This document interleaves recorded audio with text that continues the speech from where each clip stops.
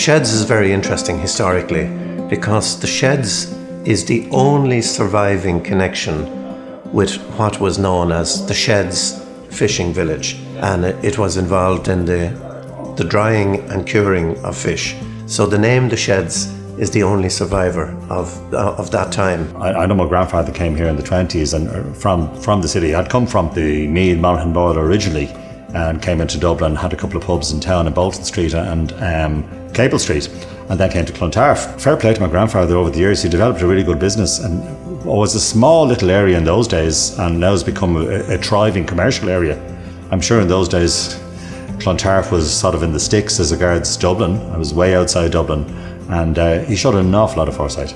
There's been a license here since 1834, and this area was known as Cullen's Corner. Cullen ran a very enterprising business here. That business was bought out by Peter Connolly in 1927. He paid the, the astronomical figure at the time of 7,750. The sheds developed to a very traditional, what the Americans would call a neighbourhood bar and that's how it's evolved over the years, over the 90 years. So there's been three generations of Connolly's and possibly a fourth one coming in now. Five, six after Mass, we used to come in here and that was our Sunday treat. Then we get our, our Coca-Cola and a bag of crisps after doing our jobs and we, we worked as a lounge boy after that and then was doing accountancy and then all of a sudden my dad got sick and we decided I'd come into the business. That was that's where it all started. So I was probably here since I was five or six years of age.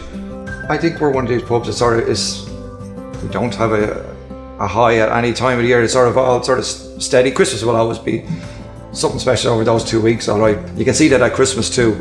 People coming back and going back where they drank all those years ago.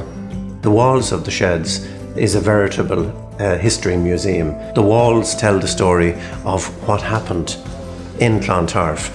Uh, there's the great sporting connections, and there's a mural up here of the 17th century fishing village in Clontarf.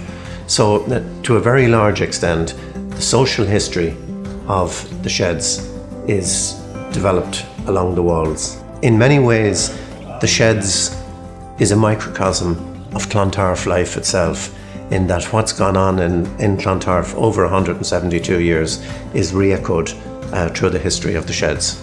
I remember, you know, when I was a kid, like, you know, we'd play football in the prom, we'd be sort of 16, 17, you know, and all the lads would sneak in here for a pint. I couldn't come in because, you know, I'd be known, so I couldn't do it. But the lads would sneak in and they could only afford one pint, you know, and that was the way it was. It was where they wanted to be. It was their pub, it was their father's pub, it was their grandfather's pub.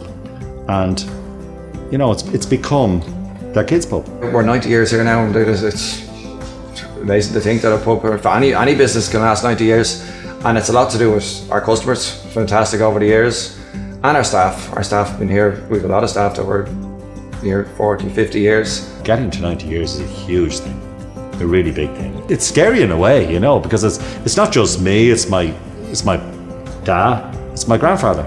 It's it's you know, and, and, and possibly, you know, the next generation as well. It's a really big thing. It's a really, really big thing. And I'm very proud of it, yeah. Very proud of it.